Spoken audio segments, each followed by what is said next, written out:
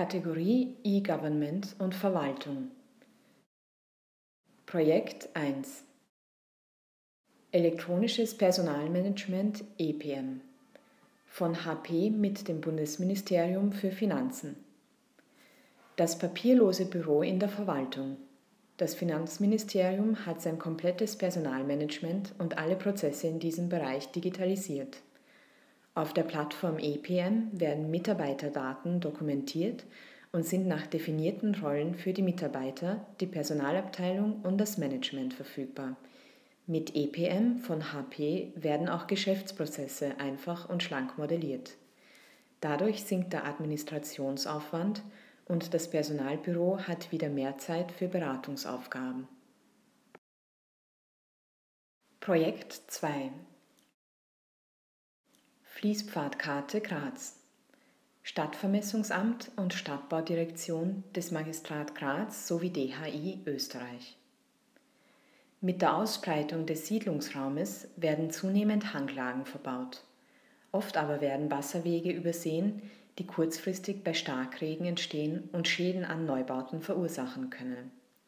Mit der Fließpfadkarte ist es möglich, potenzielle Fließwege in den Grazer Hanglagen zu erkennen und abzuschätzen. Die Karte kann sowohl über das Intranet als auch über das Internet abgerufen werden und stellt eine wertvolle Grundlage für die Bauplatzbeurteilung dar. Projekt 3 Kontrollsystem Automaten Glücksspiel Bundesrechenzentrum und Bundesministerium für Finanzen Das Bundesrechenzentrum hat gemeinsam mit dem Finanzministerium ein Kontrollsystem für Automaten Glücksspiel umgesetzt. Mit diesem Projekt können Spielerschutzmaßnahmen sichergestellt werden und möglichen Manipulationen wird vorgebeugt. Außerdem wird eine effiziente Steueraufsicht ermöglicht. Das Kontrollsystem ermöglicht die einfache Zusammenarbeit zwischen den Behörden im Bund und in den Ländern, den Bewilligungsinhabern und Konzessionären. Die Lösung stößt auch international bereits auf großes Interesse. Projekt 4 offenerhaushalt.at KDZ Zentrum für Verwaltungsforschung und Interactives Mehr Transparenz in Politik und Verwaltung offenerhaushalt.at ist eine Webplattform für Finanzdaten aus dem öffentlichen Sektor. Derzeit sind die Finanzdaten aller Gemeinden am Portal hinterlegt.